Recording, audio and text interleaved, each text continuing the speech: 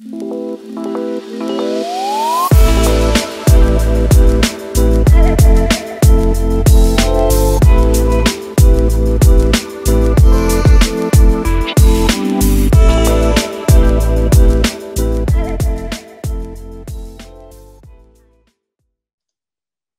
thank you so much for joining. Today, we're going to talk about specific types of loan products, uh, in particular, reverse mortgages, HELOCs, and loan modifications.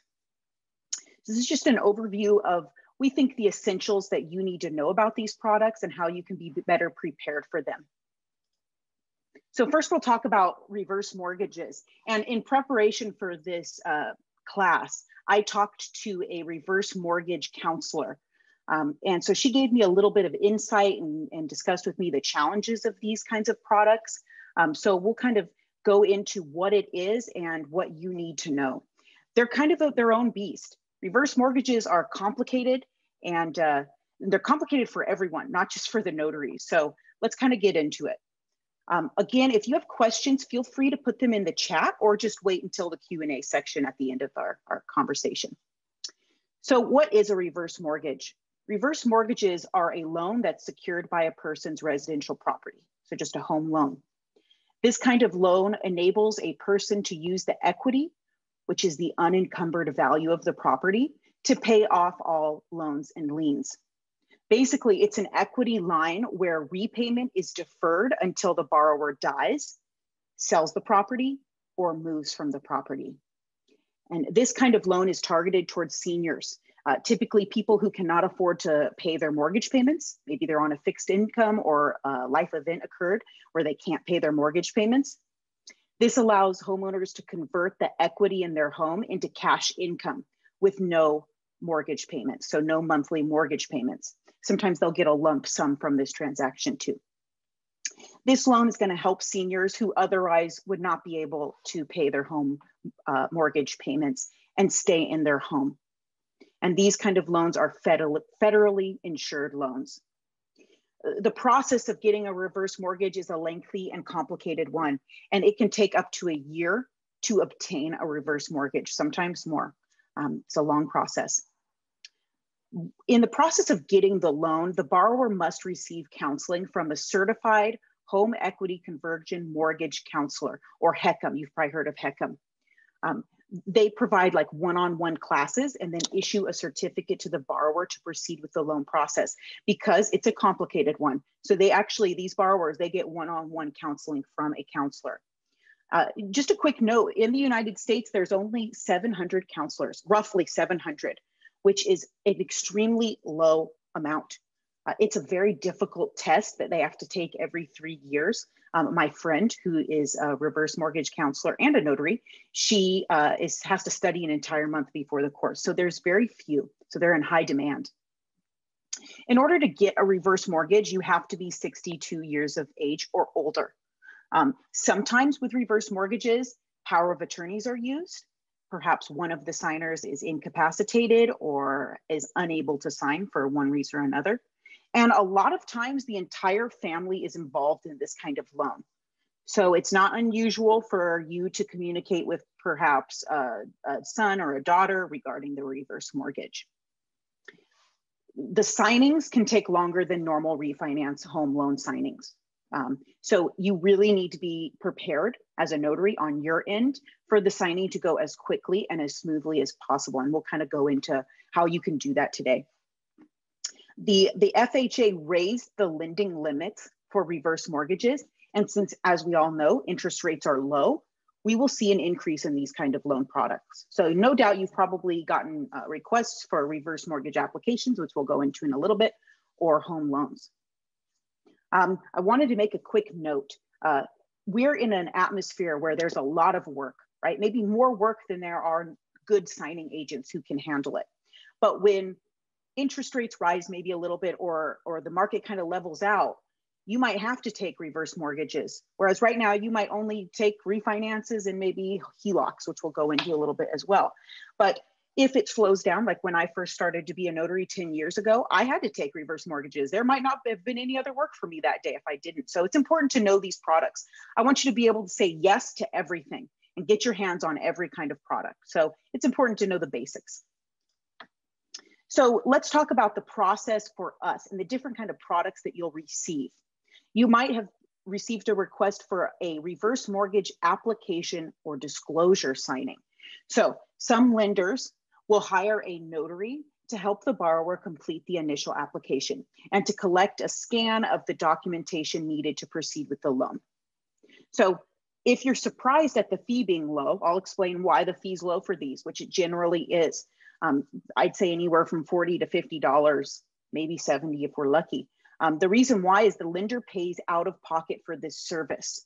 The lender's thought behind that is that the notary is going to accept the low application fee with the hope that when final docs are ready, they will accept the loan signing for a higher fee. So they like the same notary who's going to do the final loan docs to do the application as well. That's what they want. That's their thought process behind the fee being super low. On these products, um, signing agencies most likely make no money on the applications. The fee is so low. It's so low. Um, and it's because they're hoping that you'll do this and then later on you'll get the loan signing at a higher fee. They also want to develop a rapport between the notary and the signers because as you guys know, we're probably the only people that the borrowers see physically. So they want to have that rapport. And because the signers are generally elderly or over 62, um, they, they want there to be a relationship. Now, the applications are generally 80 to 150 pages. There are in my experience, never any notarizations needed. So you're literally just helping people sign a set of application docs, no notarizations. Sometimes the page count can be upwards of 300 pages and it'd be kind of alarming. You're thinking this is just an application and it's 300 pages, but it's actually only about 100 of those pages that, that need to be signed or have signature lines attached to them. And we'll kind of go into what that's gonna look like um, but only those documents need to be signed. There's going to generally be in that big set of 300 uh, a page marker that says borrower's copies, and everything after that is just a copy. But I'll have notaries say, I can't do the signing, it's 300 pages. I'm going to have to print twice. You actually don't have to print twice. And it's a lot easier than they look, just the PDF looks. Um, there's generally on whoever hires you on their website, you'll see a list of required items that need to be collected for these kinds of products. Um, you need to collect those items and provide clear scans. Some of our clients do not want cell phone pictures. So if you're gonna use your cell phone, like me, I don't use my scanner, even though I have one, I use my phone and I use Tiny Scanner. Um, they can con convert images, scans, pictures um, into beautiful PDF scans. So that's what I would use. Now, when scheduling the signing, it's important to reference that list of items needed because you're there to help them, but you want to prepare them. That way, when you get to the signing, they're not now looking for the items that they need scanned. So on the scheduling call, it's probably a good idea to tell them, I need a copy of your ID, your social security number, your mortgage payments. That way, when you're there, you're just taking the scans.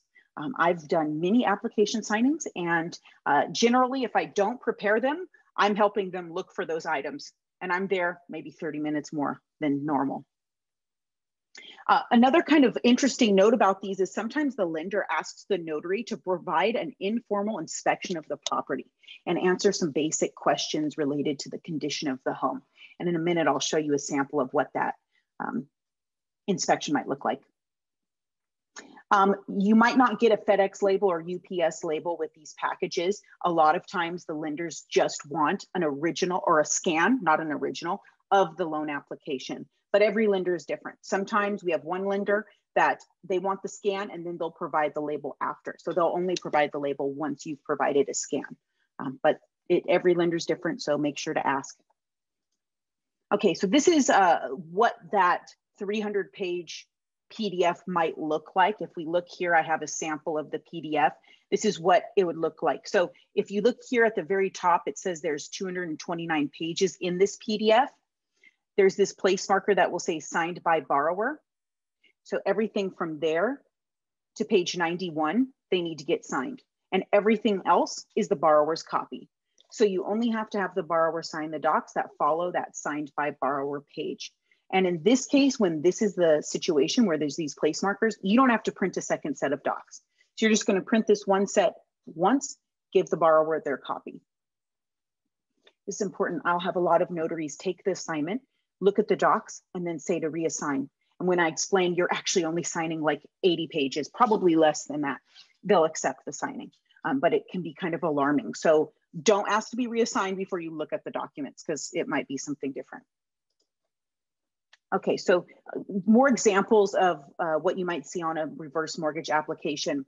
Um, this is a sample of what might be on our website, um, but pretty much any other company will have something like this. Um, this company requires a scan of all of these documents. So driver's license, social, mortgage payment, insurance, um, and, and they can, in this case, they can take like nice clear pictures. And then to the right, we have a sample of the inspection by the notary. So it's an informal inspection, um, but you're gonna, when you go into the house, in this case, you're gonna look if there's excess debris inside and outside the house, check that, water stains, chipping. Because this is a government, government federal insured loan, they need to meet certain qualifications. Um, so if the house has uh, damage that they don't want to secure with a, a loan, they might not give the borrower that loan. There are some things that can be uh, completed before the loan signing, and there are some uh, maybe issues that can be completed after the signing. Uh, but they need us to kind of be their eyes and just take a quick note of this information. You also have to ask sometimes questions like, are there smoke detect detectors, carbon monoxide, um, water heater, double strap, stuff like that. So it, this is a really unique kind of product. We're not actually doing notary work, right? We're not notarizing anything but we're helping the lender complete a set of docs. Okay. Well, sorry about that. Okay, so just to, before we wrap up the applications, it's important to note why we're doing that. Most of the time, it's because they don't want the borrower to have to find a way to print and find a way to scan. Because we're dealing with um, uh, seniors, some, some of them can and cannot print, scan, and collect all those items, and they need help doing it. So that's why we're doing it. So you want to keep that in mind when you're doing these assignments. You want to be patient and focus on the borrowers and less on yourself because they do require a little bit more attention. Okay, so now we're at the final loan doc. So when you when the process is finally complete and docs are ready, the final loan docs, um, they'll hire us. And so hopefully you did the application and now you're going to do the loan signing. It's really important for a notary to familiarize, familiarize yourself with the documents and be able to explain the paperwork in general terms. Um, do not overstep, don't offer advice, and assume what a form means. We really want to rely heavily on the lender for any questions or concerns a borrower might have. When I talked to that uh, HECM counselor, she kind of gave the advice of don't talk too much, right? Focus on the docs, let the borrowers look at the docs, keep any commentary to a minimum in these situations. And we'll go into kind of why in a minute. Plan on being at the signing 30 minutes longer than normal. So if a refinance takes 20 to 40 minutes, that's what I tell borrowers, plan on being there an hour to an hour and a half. Sometimes it's quicker. Every borrower is different. And that's uh, when I talked to the reverse mortgage counselor, she mentioned that you'll get a 90 year old who is super sharp and will sign the docs very quickly and is totally with it. Then you'll get someone else who's maybe younger who has a lot of trouble. So you can't really predict, um, but just plan on being there a little longer. If you're doing a reverse mortgage, I would say don't double book yourself. You know, don't overbook yourself too soon. Give the borrowers time. If the borrowers end up being unhappy about the loan, they're gonna blame the notary. Um, we're the last portion of the process, right? And sometimes, most of the time, we're the only people they meet. And because it's kind of a unique loan, um, sometimes uh, children of the borrowers might be upset that their parents got a refinance or a situation like that. Um, if they're upset with the loan, they're going to say they felt hurried, they felt pressured to sign. So when on these signings, keep the conversation to the minimum outside of what is your responsibility don't rush the borrowers. It's very important because they're going to be upset and they're going to try to drag everybody that was involved in the process down. So, professional, positive communication and let the borrowers go over the docs. Do not rush them, let them give them time. Now, on the back end, say you completed a reverse mortgage and you're updating our website or anybody's website, take good notes and communicate with the company that hires you. If their children were present, take a note of that. Um, if the borrowers were happy about it, take a note of that. If they were upset about the loan, if they had questions, if they could or couldn't get a hold of their loan officer, communicate all that information. It will come in handy if later on down the line the borrowers say they were they were pressured to do the signing. Not saying that you're going to pressure them, but they might blame you, even though it might not be your fault, right? We're just notaries. We have nothing to do with the creating of the loan. Um, but communicate huge on these ones. And remember that every signer is different. Like I said, you might get someone who's super with it. You might get someone who needs more time. So be patient and communicate. These are older people who need that respect and that um, that patience. So keep that in mind. Reverse mortgages, how I think of it is just remember it's not about you. So you might have four signings that day. You might want to give that other one away in order to accommodate these borrowers. Um, some notaries, like I've said before, might choose not to do reverse mortgages. But if you're just starting out and you just want to be able to never say no, that's the way Coast to Coast does business, and that's how we've been successful. Accept these signings. Um, they're generally not horrible. They're pretty good, and you'll make you know uh, connections with with new uh, lenders and escrow companies and uh, and borrowers as well. So here are the tips that the reverse mortgage counselor told me about. When they're getting counseled, these borrowers, she told me that she tells them to look at these three documents. So she directs them to look at these three documents. So it's not a bad idea to pull these forms out and put them at the top of the set. That way, they're the first forms that the borrower gets and let them look at them, call their loan officer, and understand them because these are the real meat of the loan. So the first form is the settlement statement. These are just samples of what that form looks like. This is that breakdown of any fees, credit, credits, charges, payoffs of the loan. So have the borrower look at this. They're going to also see if any money is coming back to them. So in the case to the right, they're getting 8,000 along with not having to pay their monthly payments. And to the left here, they're getting 5,000. So important document. They have a settlement statement or that HUD one form. The note, the note is, uh, in my opinion, the most important document for the borrower, regardless of uh, product. So give them the note. This is going to show their interest rate and the amount of the loan. So give them the note, very important. This is a sample of what it looks like. Um, most of the time, reverse mortgages are adjustable notes. Um, so sometimes when, if a borrower say unhappy, they're gonna say they didn't know it was an adjustable note. So give them this document. You can't go into the whys and hows of the loan, right? But you can show the what's and the where's. So have this note right, right at the very top. And this is the note continued. This is a long, it's a longer form. Refinance notes are maybe what, two, three pages? This is about seven or eight.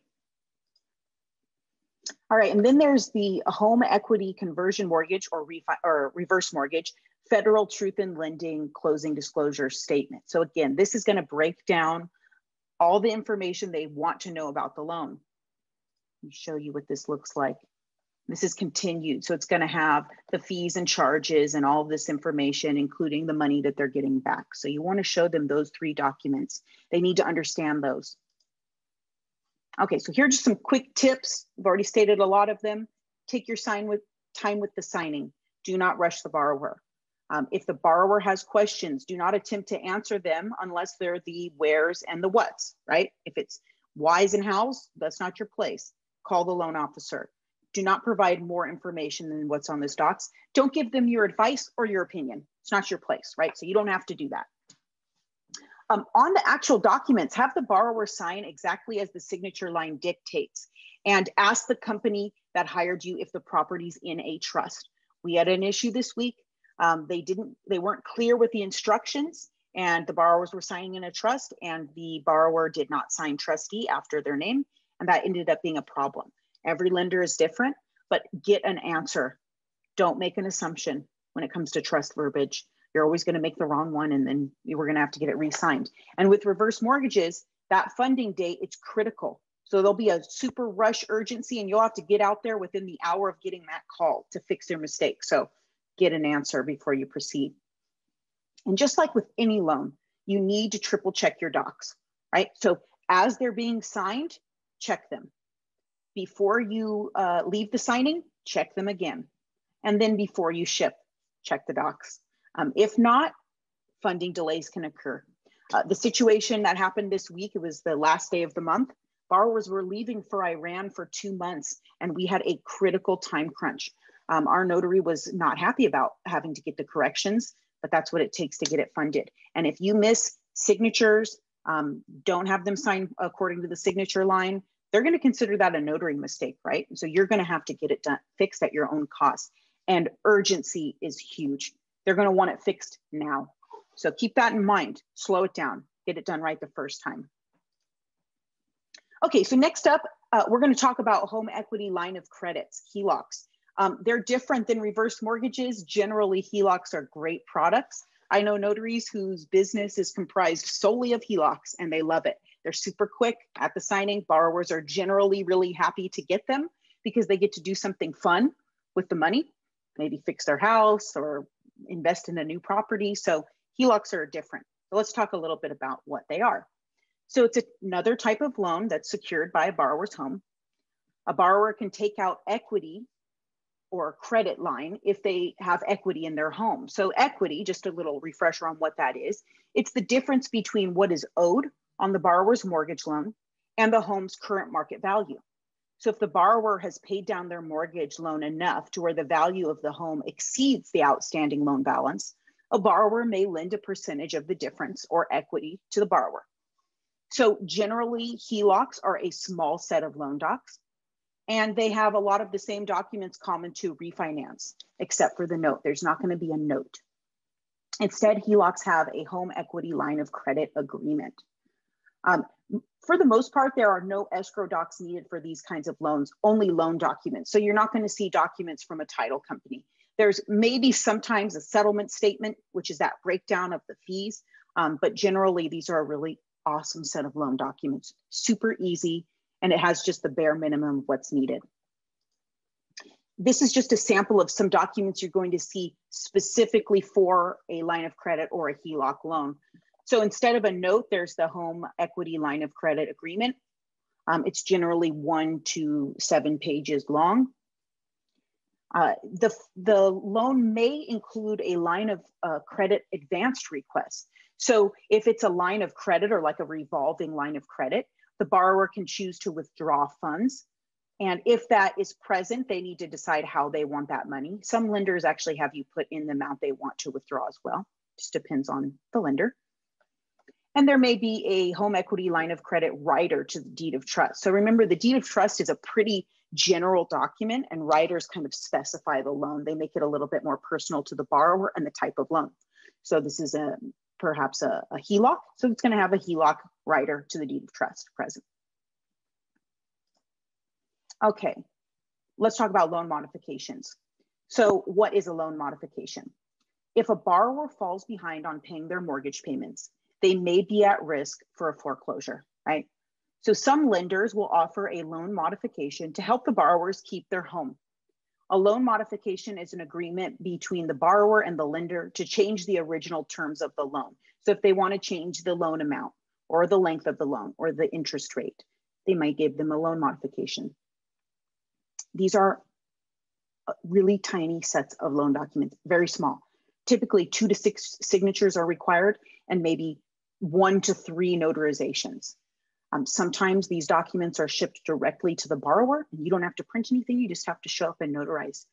Um, although they are small, if they're not signed property, properly, a full resign of all the docs may be required. So like in a refinance, if you miss the errors and omission form, you miss a borrower signature, which happens, you just have to get that one form signed most of the time. You don't have to get the entire set signed. With loan modifications, you have to get the entire set signed. Now, it's a little set, so you're only doing maybe two to six signatures again, but it can be a hassle, right? Borrowers expect you do it right the first time and we're good to go, and then they have to meet and have a second appointment. So it's small, but errors can be huge and require an entire resign. So on the scheduling call for these, it's really important that you verify that all the signers that are listed on the order and on the docs are going to be present. If one signer is not present, the lender may not approve any additional trips. Um, it's a it's a kind of a sad reality, but many of the lenders that are associated with loan modifications, because they're they're not making money because of the closing, the fees are incredibly low and they're very tight when it comes to approving fees. So communication is critical. Do not make an additional trip without getting approved, without somebody from the company that's hiring you saying, yes, you can go out to see the second person and you'll get a second trip fee. Um, we have weekly calls with our clients on these, and they will dispute even the tiniest fee. So it's important that you, there's a lot of communication, full disclosure, get everything approved that you do, because if not, you may run the risk of them not approving that additional fee. It's not fair necessarily, because if you're like me, I want to get it done. And I, I don't care how I get it done. I'll, I'll do a second trip and I'll even take the pay you know, not approved in order to get it done. But we want you to get paid for what you do, right? So always get that approved. Uh, a quick note about signing. The forms need to be signed exactly as the signature line dictates. So if the signature line has a borrower's capacity like trustee or it has an AKA, they must sign exactly as the signature line dictates, or they may reject the document and a whole re-sign is needed. And dates need to be clear. So you might think, oh, the borrower kind of crossed it off and dated it. It'll be fine. It won't be fine. So very clear. Few pages, make sure they're done perfectly. Um, this is the main form that's in a loan modification. Like I said, there can be two to six pages, um, but this is the main form. Uh, this is the Home Affordable Modification Agreement or Deed of Trust. So this details the borrower's loans, loan terms. I wanted to show you the signature line example. So this is an example. It'll have Virginia Ann White, AKA Virginia Anna Charbel. And so they don't want me to just sign my name, Virginia Charbel. They want me to sign the entire verbiage. So make sure to do that. And the dates need to be nice and clear. Don't have them pre-printed, have the borrower print them. Then there's the notarization here. So this would be filled out just like any other notarization. Uh, there's sometimes an additional page at the end of the loan modification uh, deed, and it's for the bank to fill in. So you don't have to have this signed. You don't have to have this notarized. This is for the bank. And how do I know? It says lender's acknowledgement. We're not the lender, right? So that's not for us. You can skip it. Don't cross it out like I did here. This is just to show you that you do not have to fill this in. All right. Okay, so let's wrap up what we've learned today. Remember, our job as a signing agent is to guide the signers through the loan docs. We offer general descriptions of the forms and ensure that they're completed properly. We can answer the what's and the where's of a borrower's loan terms. If the borrowers need further clarification on the whys and the hows of a specific loan term, they need to call their loan representative. So we don't want to overstep. Now, this really applies to reverse mortgages. It applies to all of them, but reverse mortgages, just because they're complicated loans. And just in general, borrowers and their families may not be thrilled about having to get a reverse mortgage. So you want to cover your back. What's and where's, not whys and hows. And then just another note ask the company who hired you for help. So communication is really critical. So in our portal update, add a note, uh, communicate with the person who hired you, anybody you can get your hands on, communicate. Um, don't leave documents unsigned or incomplete without communicating to the contracting company. So take good notes. Update the signing right away, put your notes in. Um, it's going to cover your back and it's going to cover our back. And that way, if something happens or something goes wrong, we have something that we can bring to our client. This is just a Notary 101, triple check your docs. I triple check my documents every single signing, and I've done thousands of signings. You never stop triple checking. So as the borrowers are signing, you're making sure they sign properly. Before you leave, tell them, give me just a minute to check through your docs. And most of the time, they're really happy that you do. It gives them a lot of confidence, like, oh, this person knows what they're doing. And even if you miss something, don't be embarrassed. Say, oh, I missed this. And then they're going to be happy that you triple checked. So check again. And then right before you ship the docs, go through them. Make sure you have everything. Binder clip them or put a rubber band. Um, do not shuffle them all together. They need to look good when they arrive. We had a four loan signing last week and the docs came back a mess, all mixed in together. Multiple loans are hard. You have to work really hard to be organized and keep everything in its place, or you're going to mess up. It's just the way it is. So, binder clip them, keep them together. Maybe buy folders for yourself. You don't need to give them to the borrower, but buy folders for yourself that you can put the documents in, or just put them in a FedEx label. Uh, through FedEx, you can order supplies. You can go into the store and grab some supplies, put the docs there keep them nice and organized. these are people's lives, right? These are their, their home loans. So treat those documents with respect because they're not done once you're done with them. They have a whole life on their own. So you want to make sure that you uh, you are organized and neat and triple check, very important. And just in general, remember that you're there to provide a service.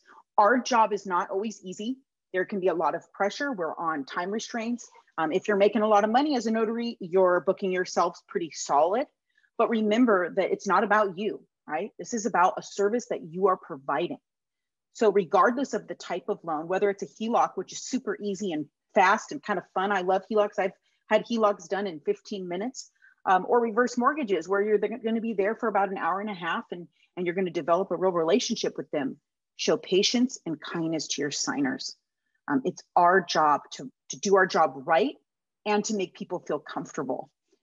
Every signer is different and has different needs. I, I can't say blanket statement, every signing will take 30 minutes because every signer is different. What their experience has taught them may be different. Some people are very stressed out about getting loans. Understandably, if you've ever gotten a home loan, it can be an incredibly stressful process, but you can be the person that makes it a positive experience. You're generally the only person that they meet. So put on a good face, right? Be positive and be prepared. And you can turn a possibly stressful or negative experience into a positive one. Uh, before I close it out, um, we have a video on HELOC signings and loan modification. So feel free to check them out. I'll send you guys the link when I send the course materials out. The HELOC signing is for we create it for one of our largest clients. So if you watch that signing, you're going to do a perfect HELOC signing. And they're super easy and fun. Um, I work full time in the back office, and if I have a HELOC close to me, I'll grab it because they're easy and they're fun, and it's a good way to make money. So check out those two videos, and they'll help you walk you through all the common errors and issues.